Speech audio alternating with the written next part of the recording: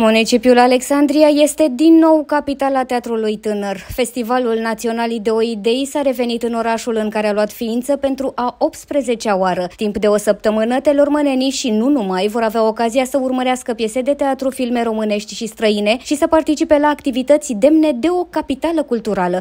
În plus, toate trupele de teatru din țară înscrise la festival vor evolua pe scena amenajată la Centrul Multifuncțional pentru Tineri din Alexandria. Alexandria s-a transformat din nou pentru o săptămână într-o adevărată capitală culturală. Trupe de teatru consacrate sau aspirante, actori cunoscuți și îndrăgiți, oameni de cultură și personalități din diverse domenii, toți vor fi prezenți în aceste zile în Telorman în cadrul festivalului Ideo Ideis, un festival care a evoluat în cei 18 ani alături de cei care i-au dat viață.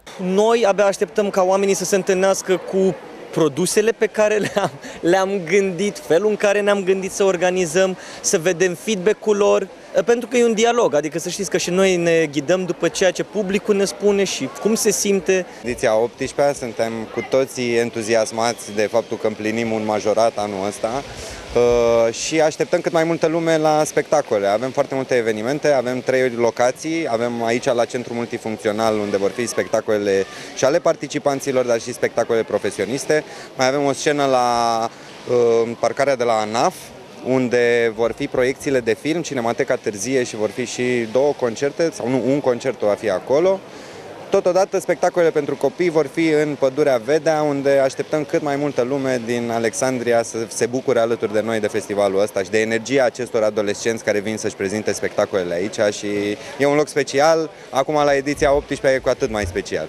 Spune-ne câteva nume importante, știu că sunt multe și riști să omiți pe cineva, dar totuși... Da, e posibil să omit, dar știu sigur că o să vină Marcel Iureș, Pavel Bartoș, uh, Alexandru Papadopol, am pe impresia Paul Negoescu, o să fie aici, da, Andreea Borțun, Alexandru Ion, o să fie și ei prezenți. Tema din acest an a festivalului este Faci lumea să semene cu tine. Tema este Faci lumea să semene cu tine și este plecând de la vârsta de 18 ani, este vorba despre acea graniță între libertate și responsabilitate. În ce, ce înseamnă un câmp deschis și totuși faptul că oriunde pășești, lași o amprentă. Cred că sunt o persoană destul de optimistă și foarte realistă și totul ce se întâmplă, sunt foarte atentă la detalii și sunt foarte multe chestii care se întâmplă în jurul nostru pe care poate nici nu le observăm și odată cu festivalul ăsta parcă nu știu, am fost mai atentă la orice se întâmplă în oraș, orice facem.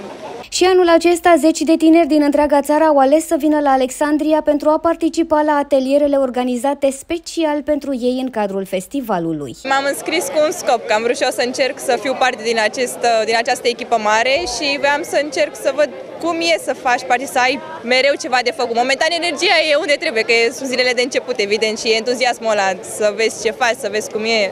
Cum ți se pare ideea asta a festivalului, tot ce se întâmplă aici? Frumos, pentru că se adună toată lumea, toți cu toate joculețele și toate experiențele de la trupe diferite și amintiri și toate. Ai mai participat și nu e primul festival. Pentru mine este foarte încărcat de energie pozitivă, fiind și primul meu an. Mă simt uh, un pic uh, nu neapărat anxioasă, dar am așa o frică. Dar uh, vibe-ul este unul super bun, sunt oameni extraordinari care muncesc foarte mult și noi muncim foarte mult pentru că și eu sunt voluntară și chiar mă bucur că um, particip la astfel de activități și că se fac astfel de activități la mine în oraș. Ideo Ideis este un eveniment care își propune să creeze punți între educație și cultură, oferând participanților o formă de instruire bazată pe dezvoltare personală prin mijloace alternative alternative, actorie, dans, scriere creativă, muzică, film sau fotografie.